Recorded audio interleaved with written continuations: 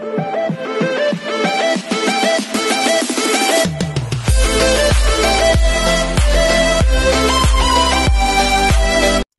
everyone, this is KJ Vlogs, a Filipino actor based here in Saudi Arabia and welcome back to my channel. For today's video, grabe, naluloka talaga ako dito sa production team ng Panty Dropas League kasi lumabas na naman ang isa pa nilang music video. Ang dami nilang budget guys. As in, ang dami talaga nilang budget. But for today's video, if I'm not mistaken, continuation ata to ng mga kanta nila The Angas Deserve.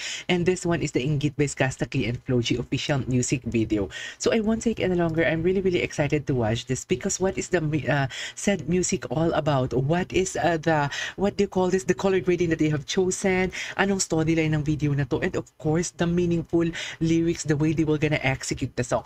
Kahapon ata may mga nag-comment doon sa akin na parang hindi si Floji yung uh, chorus and whatsoever. I think that is not the chorus part pero ang tinanong ko ata kung sino nag-execute ng part na yon which is si Floji ang nag-execute if I'm not mistaken. But nonetheless, nevertheless, gawin natin ito ng reaction video ang Inget by Skastakli and Floji official music video.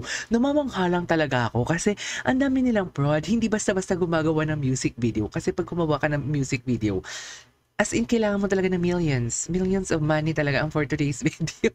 Pero grabe. Grabe si Sinaskasta and Floji.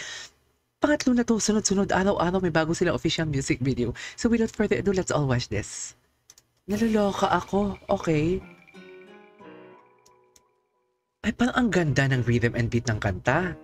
Wait lang, aside from this one, let's just comment the movement of the said camera, the transition of their video.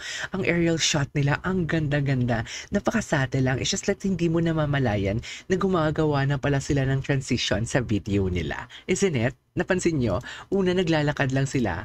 Tapos, nag-transition na sila. Ang galing ng transition. Oh, ang galing. Kaya pala medyo hindi natin napapansin na ma- nagkaroon ng aerial shot agad from the for the first 7 seconds kung paano na transition nun. Kasi may kinunan sila na parang zoom, zoom na building. So parang alam mo yung nagulat ako na parang hindi naman sila na transition pero bakit may aerial aerial shot agad? You know. Okay, talino. Ang talino lang. Hala, ang ganda. Ay, ang ganda ng rhythm and beat. Floji, Floji. Ay, ang ganda. Wait a minute, is this in Cebu, if I'm not mistaken? Wait, ang pagkakaalam ko sa Cebu ba to? Sorry, hindi na kasi ako masyadong gala sa Pilipinas, pero the last time I checked is may ganito sa Cebu ang alam ko, sa totoo lang, pero wait lang, comment muna tayo sa rhythm and beat ng kanta. Ang ganda ng tempo ng kanta. It's just like very sexy, very inviting. Tapos, dagdagan pa ng boses ni, uh, uh, wait lang, hindi ako sure kung si Floji yun, kung si, si Skastakli. Si Floji, si Floji. Okay.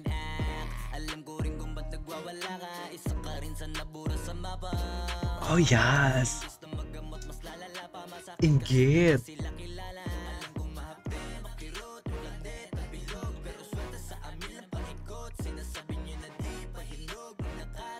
Grabe. Oh my God. Oh, nice. Oh, the adlibs are overflowing. This is one thing that I really love about Skasta Cliten. Pero I'm not pretty sure kung si Skasta yung nag-adlibs doon. Yung pinakapaborito kong kanta niya talaga yung na na na na pilitin kung di ka pa. Sa susunod na lang, if I'm not mistaken, doon ko nakilala si Skasta Cli talaga. Before, hindi talaga ako nakikinig sa mga kanta niya. Pero nung kinanta ni Justin Vasquez, nag-cover siya ng sa susunod na lang. Tapos ang sinerge ko kung sino yung, um, what do you call this? Kung sino yung sa susunod na lang na, na original, ano, um, composer or original singer, nagulat ako si Skastakli. Ang ganda ng adlibs si Skastakli doon, napaka-juicy. Ito. Oh, ganda no? Ala, ang ganda ng kanta.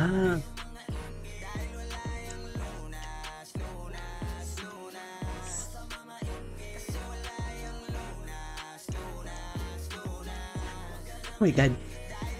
Narinig niyo may nagse-second voice. Alam mo yung bakit ganito kung sino man yung si Skasta Kliman yun or si Flo G ang nagse-second voice. Bakit ganun rapper sila but the vocal prowess, the full chest tone execution. Pag nagse-second voice sila, amazing.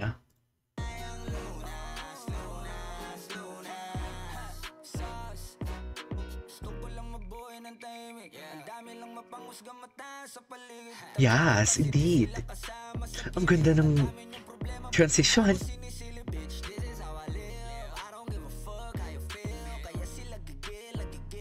Ay, ang ganda. He sustained. Dalang power. He sustained.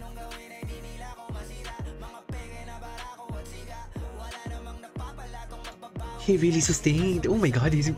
Dalang power. Dear, hindi siya nagkakat. Oo. Oh, gusto, gusto ko talaga yung adlibs na yun. Okay. Oh, I love this song. Yes. Mm. Juicy. In fairness, I love this song. I love this song. yes.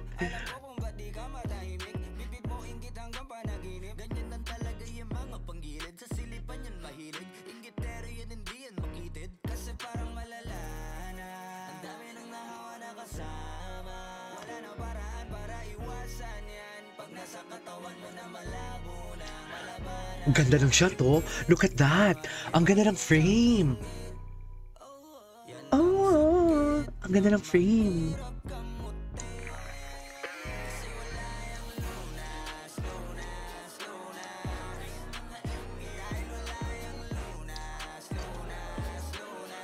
Ang ganda ng song.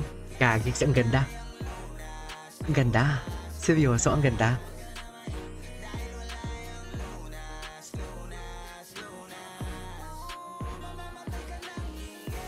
Wow! The transition of the video. Shoot, ina, ang ganda. Grabe. Grabe, ang ganda ng video. Ang ganda ng video. Galing ng editor nila. Ang galing.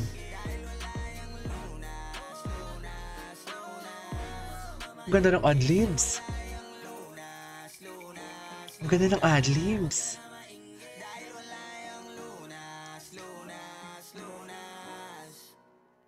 Tapos na? Nabiti naman ako. Ang ganda ng kanta. Gaga. Ano to? Papanoorin ko ulit to. Eh, there you go guys. Ah, hindi pa tapos. Sorry. Ah, okay. Tapos na. Alright, there you go guys. That is our for today's video. The Ingits, Kastakli, and Fluji official music video. I love it. I love it. Perfect. It's perfect. This is KJ Vlogs and see you on my next vlog. Sa lahat, sa tatlong ginawa ko ng reaction video sa Deserve, Angas, and Ingit, ang Ingit ang pinakagusto ko sa lahat. Pero pagdating sa music video, ang Angas pa din. So yeah, this is KJ Vlogs and see you on my next vlog. Bye!